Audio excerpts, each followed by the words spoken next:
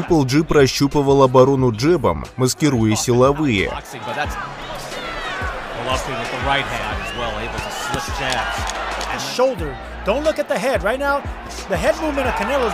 Альварес ловил его левый пак.